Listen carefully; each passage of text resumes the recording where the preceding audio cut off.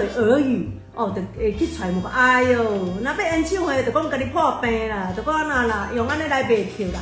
我听了替你艰苦。不是不是不是，你没有，我安尼我要打岔，我要打岔一下。哎哎，我真的觉得说，如果这样就有效哦，哎，我觉得你要继续讲啊，应该有效。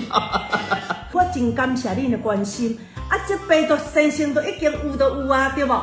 你搁提起无意义啊啦。啊，但是真济其他的朋友，你讲啊，啊，若要演唱会就破病，啊，迄、个病早都得哎，了嘛。一个没有一个好，我知道大家还有一个疑问，就是说生病了，然后又病又好了，又生病了，是什么我？并没有啊，我告诉你，我来我来讲，我跟不是跟你讲五分钟不要讲话吗？你病都病好，你是五。分钟前啊。但我今日上艰苦就是讲，你卖你卖一直认为有真济真嘛毋是真济啦吼，都有一寡人，恁就会耳语哦，就会去揣摩，哎哟，若要演唱会，就讲甲你破病啦，就讲安那啦，用安尼来卖票啦。我听了替你艰苦。不是不是不是，没有，哎我要打岔，我要打岔一下。哎哎，我真的觉得说，如果这样就有效哦，哎，我觉得你要继续讲啊，应该有效。我就甲你，我即马甲你解可是为可。是为什么说那么多人都觉得说啊，在在比如说有一些人就是只是留言指责这件事情，说啊又要开演唱会又生病了，哎，我反而觉得说这些人可能是一群不大了解哇演唱会居然是这样形成的，然后办一个演唱会，不要说他，我们连幕后的人都都压力大到是好几天就没法吃饭的。对了，你你问他，我们没我唱歌还不用扛票房哎，我只是去红人榜那边唱一首歌哎。我真感谢恁的关心。啊，这病毒生生都已经有都有啊，对无？你搁提起无意义啊啦。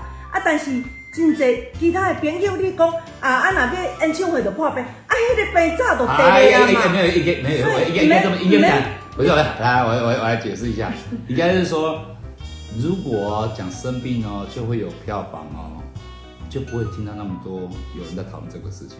哦，哦，然后可见来讲，就是说，如果他真的很在乎票房，他只要不要讲就好了。按照人哦，就是做事的事情呢，忍不住要讲出来，然后呢，讲其实他每次讲内容不是只有讲生病这个事，就是其实大部分在讲别的事情。但是对于我也我我因为我做媒体，我非常知道说，媒体觉得那个才有话题点呢，其他找不到话题点。你又没有什么话题，你要么就是我太去频繁了呃。就是弄个绯闻嘛，对不对？我们两个吗？我我我我觉得我我不要我不要。知道大家还有一个疑问，就是说生病了，然后又病又好了，又生病了，是什么我回事？并没有啊！我告诉你，我来我来讲，我跟不是跟你讲五分钟不要讲话吗？你病都病好，你五。分钟前呐、啊。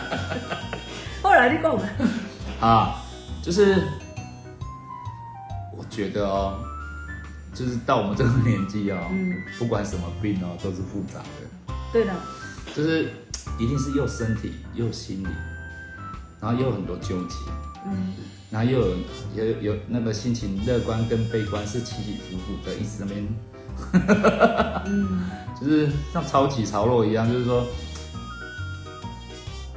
我觉得这个时代很多人在心灵上跟精神上哦，就是有一些受困哦。我觉得这这个时代是大家很多可以同理的，嗯因为这样的人真的很多。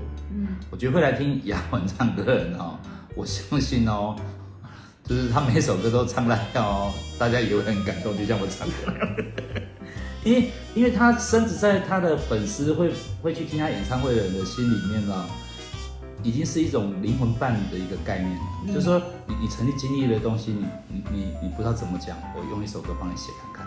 嗯，其实是这样的一个一这样的交情，不然他的演唱会，我跟你讲，就是说会会一再一再听的人，就是那种心灵交换伴侣的概念，所以这些感觉是我觉得外人很难理解啦。对啊，啊啊，只是说如果外人就是一直要要讨论这个事情，我觉得听个人多少情绪也会觉得受影响，就觉得哦有杂讯。